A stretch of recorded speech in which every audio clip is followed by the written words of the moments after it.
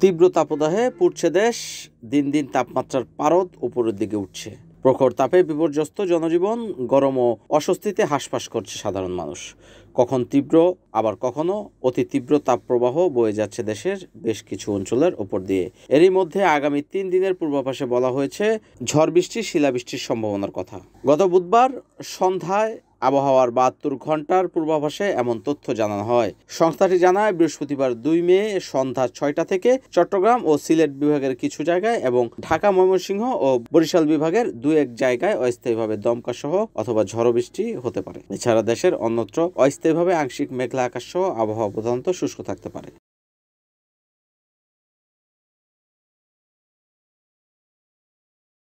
NN TV Narayanganj.